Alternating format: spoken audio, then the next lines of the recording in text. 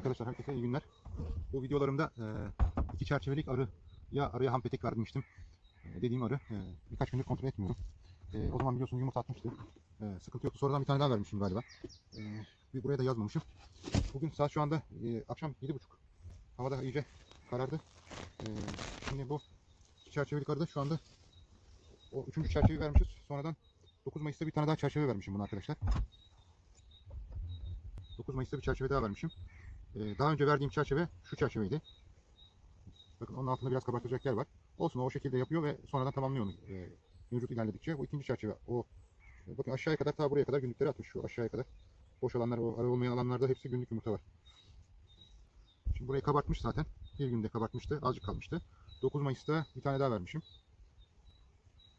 Evet şimdi bu arada tabii bu mevcut azalması görüyorum ben kovanların bölmelerde. Hepsine dikkat ettim mevcut azalması var. Çünkü bunlar hepsi e, ana arı e, tarlacı arılardı, yaşlı.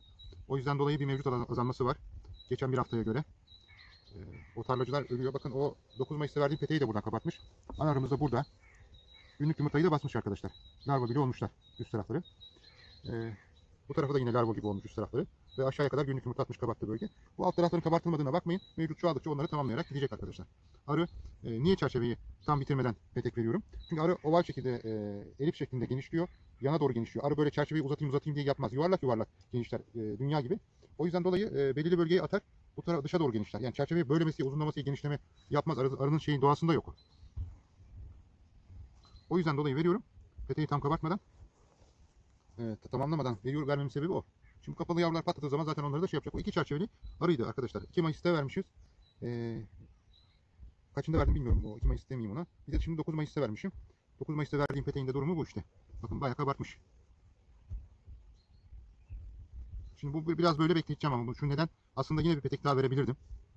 Ee, çünkü e, şundan dolayı ta- şu anda tarlacıları azaldığı için mevcut azalması var. Bak ufak da bir dalak atmış şimdi buraya.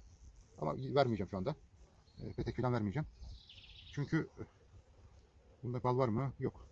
Bunu alalım. Çünkü mevcut azalması var arkadaşlar. Yeni yavruların çıkması lazım ki şey olsun. Arı genişlesin, petek kabartmaya devam etsin. O yüzden şu anda bir müddet bekleyeceğim. Aslında mevcut azalmasaydı verecektim bir petek daha. Burada da dış tarafta yalasın diye verdiğim bir petek vardı.